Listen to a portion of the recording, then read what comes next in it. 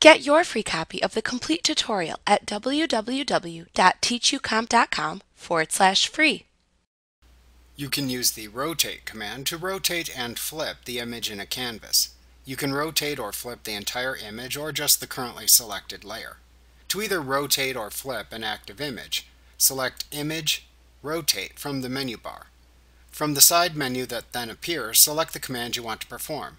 180 degrees to rotate the image 180 degrees or half a circle, 90 degrees left, flip horizontal which flips the selected layer horizontally, and so on. Note that if you choose the Custom command, then the Rotate Canvas dialog box appears, where you can then enter a value into the Angle text box, and then choose to rotate the image right or left. When you are done, just click the OK button to apply the custom rotation. Like what you see? Pick up your free copy of the complete tutorial at www.teachucomp.com forward slash free.